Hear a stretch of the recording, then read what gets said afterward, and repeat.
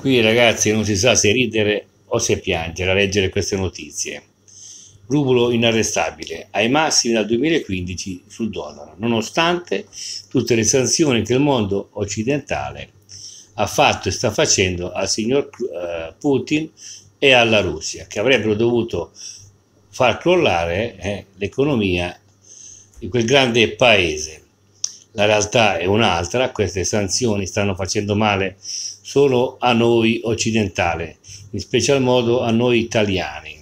Siamo in ginocchio, tartassati, vessati da un governo di incapaci che sta portando l'Italia e il proprio popolo eh, alla rovina. Questa è la realtà. Pensate che il rublo nel 2022, nel 2022 è risultata la migliore valuta al mondo, con un rialzo superiore al 35%.